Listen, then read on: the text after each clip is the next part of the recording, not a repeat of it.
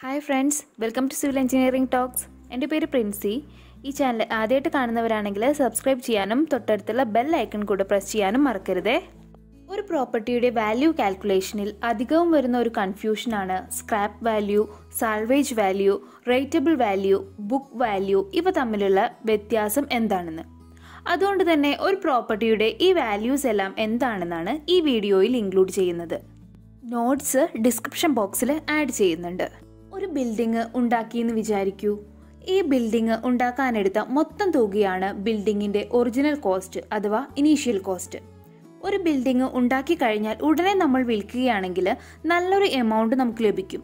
എന്നാൽ ഓരോ വർഷം കഴിയുമ്പോഴും ആ ബിൽഡിങ്ങും പഴക്കം കൂടുകയല്ലേ? അതുകൊണ്ട് തന്നെ പഴക്കം കൂടുന്തോറും ആ ബിൽഡിംഗ് വിൽക്കുമ്പോൾ ലഭിക്കുന്ന എമൗണ്ടും കുറവായിരിക്കും.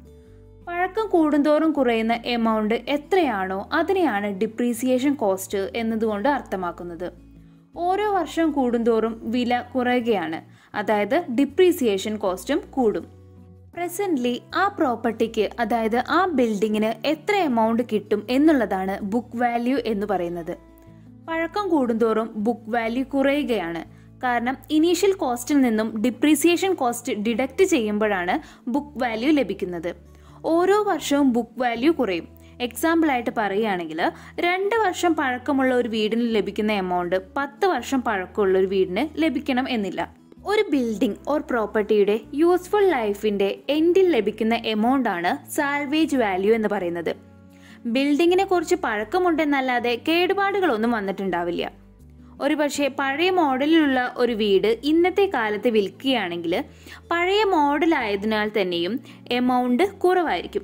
അതിനെ നമുക്ക് സാൽവേജ് വാല്യൂ എന്ന് പറയാവുന്നതാണ്. എന്നാൽ പഴയ ഒരു വീട് താമസയോഗ്യമല്ലാതെ അത് പൊളിഞ്ഞു ചാടാനായ ബിൽഡിംഗ് ഉണ്ടാവില്ലേ? അങ്ങനെ ഒരു പ്രോപ്പർട്ടിക്ക് ലഭിക്കുന്ന എമൗണ്ട് ആണ് സ്ക്രാപ്പ് വാല്യൂ എന്ന് പറയുന്നത്. ആ പ്രോപ്പർട്ടിയിൽ ഉപയോഗിച്ചിരിക്കുന്ന മെറ്റീരിയൽസ് നമുക്ക് മറ്റാവശ്യങ്ങൾക്കായിട്ട് ഉപയോഗിക്കാം. അതായത് പൊളിഞ്ഞ ഒരു വീടിന് ഉപയോഗിച്ച കേടുപാടില്ലാത്ത കല്ലുകളും ഓടുകളും ടിമ്പർ വർക്ക്സും ഒക്കെ നമുക്ക് മറ്റാവശ്യങ്ങൾക്കായിട്ട് എടുക്കാനാവും.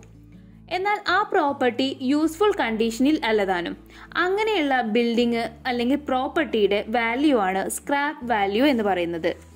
ഒരു ബിൽഡിംഗ് ഓർ പ്രോപ്പർട്ടിയുടെ വാല്യൂ ആ പ്രോപ്പർട്ടിയുടെ സൈസിനെയും അത് നിൽക്കുന്ന ലൊക്കേഷനെയും അതുപോലെ ലാൻഡിനെയും ഉണ്ടാക്കിയ മെറ്റീരിയലിനെയും തുടങ്ങിയ ഫാക്ടേഴ്സിനെ ഡിപ്പെൻഡ് ചെയ്തിട്ടാണ്.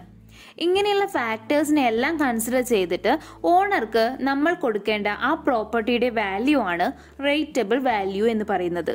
ബുക്ക് വാല്യൂവും റേറ്റബിൾ വാല്യൂവും സ്ക്രാപ്പ് വാല്യൂവും സാൽവേജ് വാല്യൂവും തമ്മിലുള്ള കമ്പാരിസൺ എന്താണെന്ന് മനസ്സിലായെന്ന് വിചാരിക്കുന്നു.